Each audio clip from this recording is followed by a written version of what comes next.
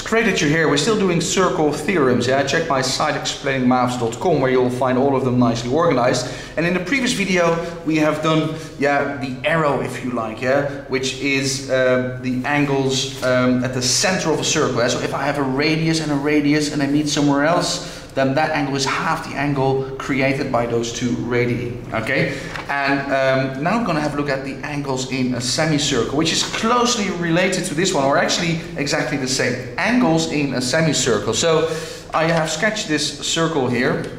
So semicircle is half a circle. I hope you realize that. All right, and um, how do we call that line then? We call that the diameter. Okay, and what did we say again, going back to the previous uh, video, what did we say? Well, if I have a radius and a radius, then this angle is twice as big as the angle there at the circumference, okay?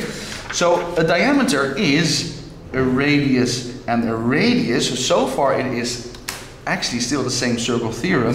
So now if they meet somewhere at the circumference, what does that make this angle? That is half the size of this one. And what is the size of this angle? Well, it's a diameter, it's a straight line, it's 180 degrees. So that makes that a right angle triangle. And that is crucial for you to realize. In questions, whenever, and they will, talk about, oh, uh, let's say AB, the line AB is the diameter, and you're doing circle theorems, then you are looking for right angle triangle. Because a right angle triangle, of course, all of a sudden you can do some Pythagoras theorem. All of a sudden you can do some basic trigonometry. Whenever they talk about the diameter in a circle, yeah, which goes, which is a radius in both directions, a straight line, talking about right angle triangles, okay? So it's the angle still at the center of a circle, where the angle then at the circumference is half the angle there of uh, the one in the middle. Yeah? Now I should try to use proper English. Yeah? And I'm trying to show you by creating different triangles that it doesn't matter where they meet on the circumference, it will always be a right angled triangle that you create because that angle at the circumference is half the angle there. Half of 180 is 90 degrees. Right angled triangle.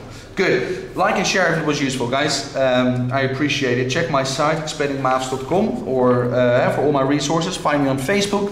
Find me on Twitter.